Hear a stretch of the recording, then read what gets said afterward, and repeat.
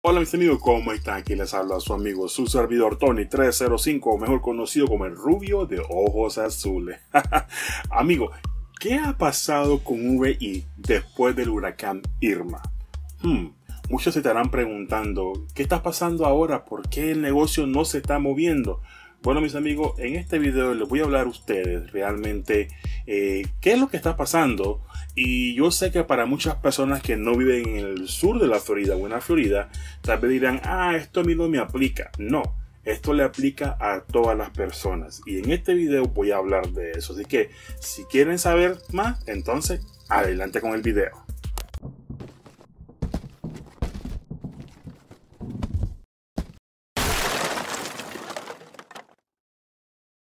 Bueno, mis amigos, antes de comenzar, quiero darle las gracias a todas esas personas que realmente se pudieron contactar conmigo por medio de Facebook y me mandaron mensajes privados, dejándome saber de que están bien y que toda su familia y no tuvieron daños en sus carros y eso me alegra bastante. Esto realmente acabamos de pasar por un huracán que en cierto aspecto, gracias a Dios, eh, realmente el ojo del huracán eh, no pasó por, por la mitad de, de, aquí de Miami como supuestamente estaba, estaba eh, como era la trayectoria, pero realmente aún así sufrimos bastantes vientos. Ahora, esos vientos eh, tumbaron bastantes árboles. Lo puedo decir la verdad, yo no sabía que en Miami había muchos árboles. Ah, sé que hay fauna, hay árboles y eso, pero óigame, tenemos muchos árboles. Y oye, me estoy comiendo eh, aguacates que hasta ya no puedo más, porque todos mis vecinos que tienen para de aguacate los están hasta regalando porque se le cayeron toditos. Pero bueno, esto sí, prácticamente los daños que más obtuvimos aquí en el sur de la Florida fueron daños de árboles caídos y tristemente esos árboles realmente botaron muchos alambres eléctricos y eso creó que muchas personas hasta la fecha de hoy, que es que estamos en septiembre 16,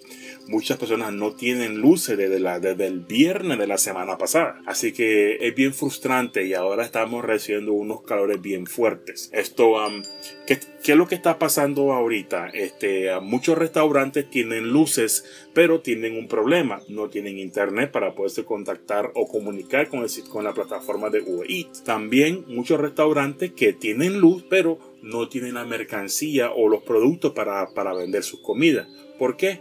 Porque eh, todos los restaurantes que ya pudieron abrir eh, han tenido que botar toda su comida porque se les dañó porque no, no, tuvieron luces por un par de días. Y las leyes aquí de salud no permiten que esa, que esa comida sea vendida ya eso tiene que ser botado. Así que muchos restaurantes están comenzando otra vez prácticamente desde cero. Y les voy a decir algo muchos restaurantes tal vez ya no van a poder abrir porque muchos no tenían seguro. Y esa mercancía productos son miles de dólares. Muchos restaurantes eh, no tienen ese capital para poder ordenar comida nueva y muchos van a tomar semanas o cuidado meses para que vuelvan a abrir. Así que por eso es que también no sé si ustedes están notando de que eh, muchos restaurantes que nosotros realmente vamos muy a menudo no están abriendo o no están en el sistema es porque no tienen internet y otros porque no tienen los productos. Eh, otra cosa, esto también está afectando a muchos restaurantes McDonald's porque los centros de distribución de los restaurantes McDonald's no están prácticamente aquí en, Miami. Y los que estaban aquí en Miami que una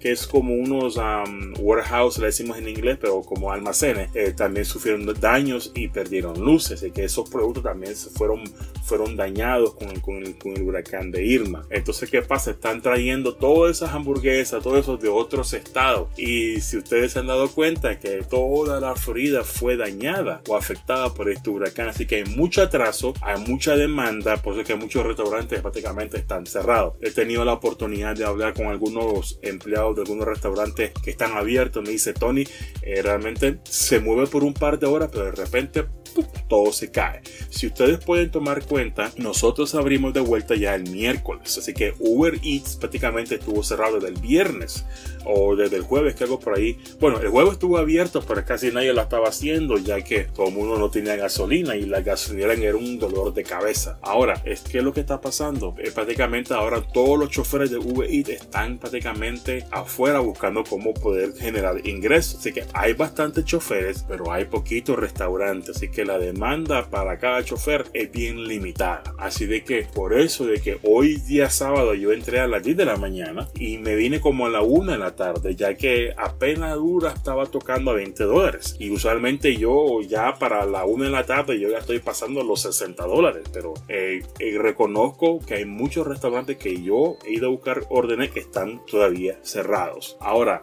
esto también muchas familias tuvieron que, que ir de donde estaban y se fueron a otros estados, a unas ciudades más arriba de donde iba a pasar el huracán. Muchos han regresado. Esas personas que se fueron y han regresado, han regresado a sus casas donde no hay luces. También esas personas han gastado mucho dinero en, en comer afuera, ya que si no hay luz y si no tienen cocina de gas, entonces no hay forma como cocinar. Y encima no puedes, no puedes tener comida, mucha comida, porque si no tienes cómo mantenerla refrigerada, se va a dañar.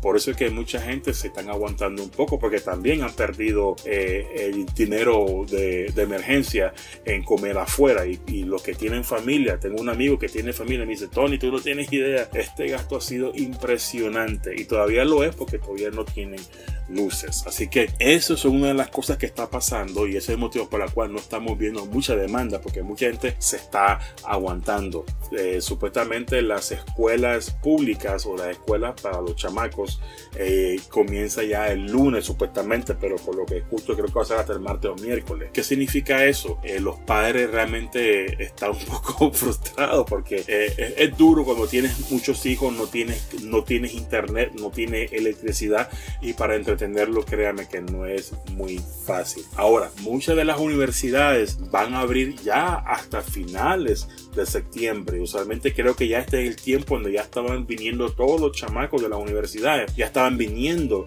aquí a, aquí a Miami para comenzar sus estudios aquí en Miami, pero muchos han sido ya propuestos hasta las finales del mes. Así que eh, tal vez por una semana más, posiblemente que tengamos momentos bajos o momentos buenos, pero la demanda va a ser un poco lenta.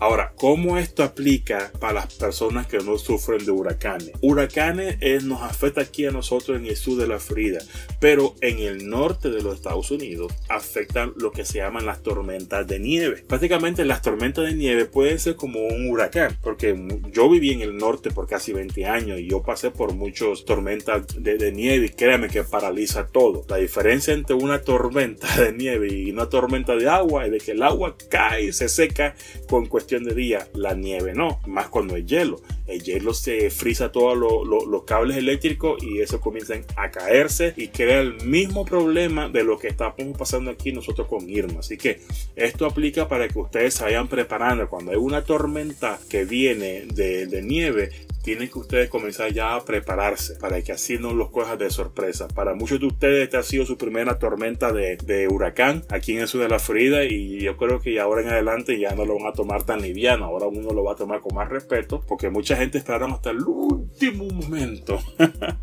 para ir a buscar madera, para poner en su ventana, para ir a buscar gasolina, para ir a buscar comida, para ir a buscar agua y créanme, el agua hasta la gente se estaban peleando por el agua. Pero bueno, ya esto nos sirve de experiencia y esto no nos vuelve a pasar más. Este es el mensaje que yo tenía para ustedes. Eh, realmente, gracias a Dios que estamos bien de salud. Prácticamente eh, los únicos daños para muchas personas fueron daños materiales que eso se puede reemplazar y no hubo daños de, vida. Bueno, hubieron unas personas que se murieron y eso tristemente pasa cuando hay tragedias así. Pero realmente tomemos esto como una lección, preparémonos, no esperemos este último momento, ya tengamos, tengamos ya planeado un plan de emergencia para que cuando surja algo así ya estemos eh, preparados y no esperar hasta el último momento. Bueno mi gente, se me cuidan, que Dios me los bendiga y nos miramos hasta en el siguiente video. Hasta luego.